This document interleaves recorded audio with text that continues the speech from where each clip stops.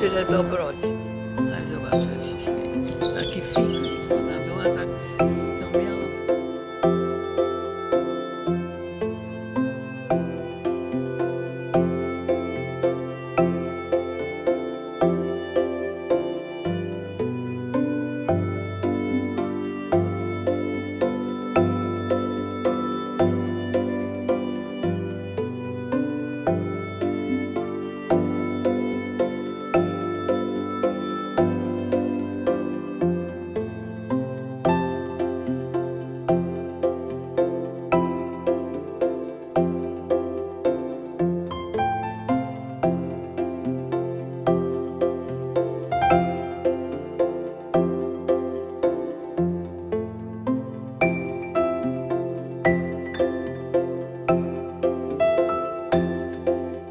She was the most amazing human being I have ever known.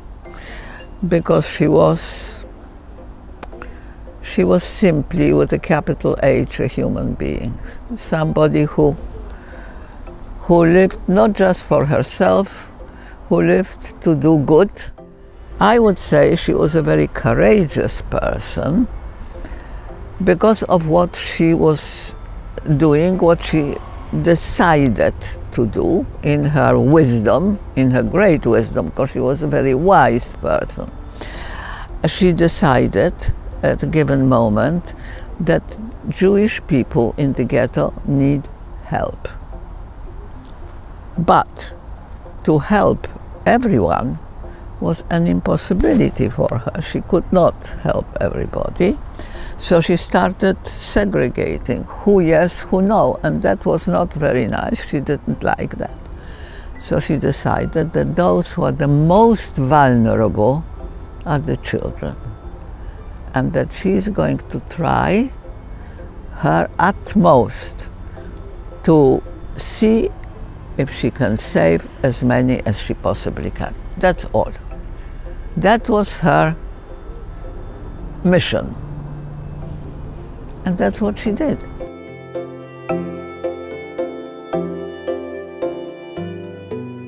And then she decided she heard about Żegota and she presented herself and said this is what she would like to do. And they put her in charge of the children's department.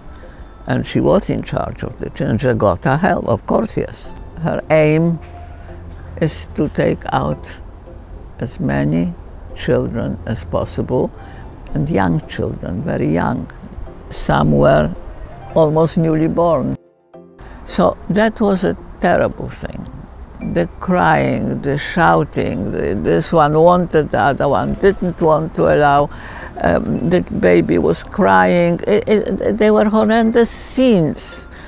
And these scenes she had in her, in her head in her head until the end of her life at the age of 98. She could not sleep nights because she heard the shouting and the screaming of the children, of the mother, of the, of the, of the grandmother. Of the, it was horrendous.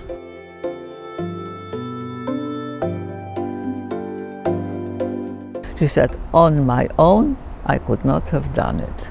She had a lorry driver, she had an ambulance driver who knew what they were doing. It wasn't that they came here and no, they knew exactly and so. And these children were uh, medicated, put to put to sleep so that they shouldn't cry while the lorry or the ambulance is on its way out of the ghetto and the child was put in a box, in boxes with some holes in it air. The child was asleep, babies, they were babies, asleep under, uh, say, I don't know, coal or under rubbish which they were taking out of the ghetto and so on. So. And that's where she put these little, these little boxes and that's how they came out. And she contacted 10 of her closest, closest friends, put it this way, those who she took them, she took them, she asked them to come there. and she wanted to talk to them and ask whether they would be willing to do it. And if anybody thinks they can't for any reason or that this is too much for them, or eh, would they please say so? Because there is no shame in, in saying, no, I, I, I, not me, I can't, I'm, I'm too, too frightened, I, whatever. That's understandable. But those who think they can do it with me, you do it with me. My, on my own, I cannot do it. She, in her wisdom, decided that every, every single child will have his name, his original name, in other words, his Jewish name, and his present name. And she wrote everything on tiny, tiny tissues. Every child's name, this way, that way, on a tissue into a bottle. And that's why she did it. Because, why did she do it? Because she was hoping that the children will survive. And hopefully, maybe the parents, or one parent, or, or if some family will survive. If a child will not, we don't know their name from home, so to speak, we'll never know because the children by that time will have forgotten who they were. And this is why she did that. And once the bottle was full, she put it under a tree, not in her garden, but in a friend's, one of the, one of her um, co-workers. And she invariably said, not only to me, but whenever and if anybody asked her, she said, on my own, I could not have done it. So here were my, my link to my thing. And we did it together. And then she mentioned some names.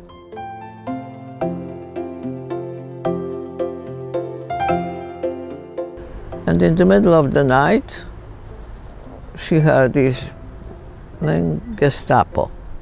You could tell their, their wonderful boots on the, on, the, on the ground, on the floor, on the thing. And so she immediately, she had the names of the children, the, little things were on the table because they were talking about it, discussing. She had it on the table. She grabbed all of that and gave it to the friend. And the friend put it under her arm. And the Gestapo on the door, and she opened the door. She was in slippers, night wear and so on. And they did their whole place upside down.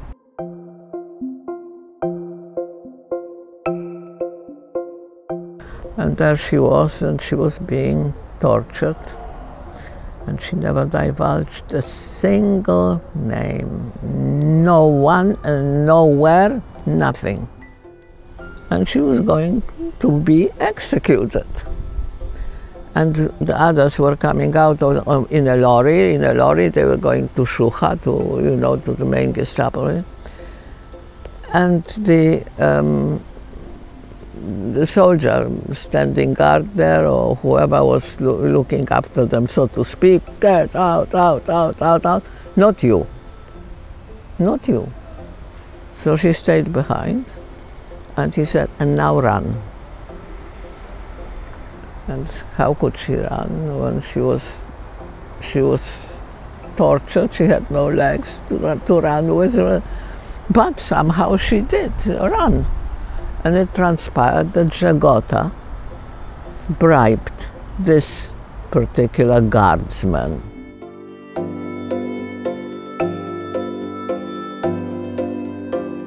I never even thought, never gave a, never gave a, a thought to that person.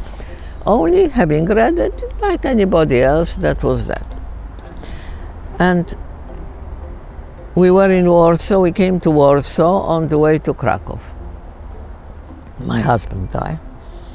And um, we had uh, an appointment. We were staying two days in Warsaw, and we had some appointments with friends to see some people there. And one of whom was my friend who is uh, for, in Krakow actually, based in Krakow, very correct, very so, absolutely everything on the thing, and punctual to a iota, to a second, you know. And here we are, and he's not here. It's not at all like him. He would have phoned, he would have something, but no, nothing. God, something must have happened. We were terribly, terribly worried. Just under an hour, I think, he suddenly appears.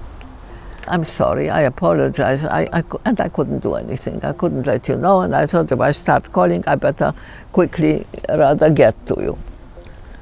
So I said, tell me again, who, who did you see? Who was it that you are coming from? You said. He said, you know, Miss, you know Mrs. Sendler. I said, no, I don't know. Which Mrs. Sendler? No, you know, don't you know about Mrs. I said, no, I don't know about Mrs. Sendler. But tell me, is that the lady who I might have read uh, something about in Bartoszewski's book? He said, yes, of course. To him it was normal, but to me, nothing. So I said, how come she is alive? That's amazing. She must be very old. He said, yes, of course, she's very old. She's 92. I said, look, before you do anything, before we even sit down, I would like you to take your phone and call her and ask her if she would be so noble and allow me five minutes so that I may come, kiss her hand, and leave. Nothing else. Nothing else. When I walked in, to the room, she spread out her arms, not knowing me. And not I, but she took my hands. And I did not leave before three hours. She wouldn't let me go.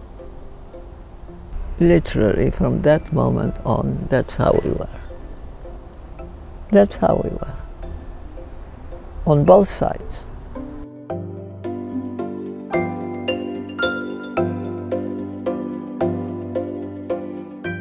All of us very much would have wished for Mrs. Sendler to get a Nobel Prize, the Nobel Prize. I don't know if you know what it is. I will not explain to you now because we haven't the time, but it is the most important prize a person can get in their life. So your teacher will explain to you, but I will tell you something. She didn't get it. She did not get it. But you, children, are her Nobel Prize. This is what she said, and that is in inverted commas. This I quote So long as I shall have an iota of energy in my body, I shall declare that only good is supreme. It must be striven for at all costs, and in the end, it must prevail. Those are her words.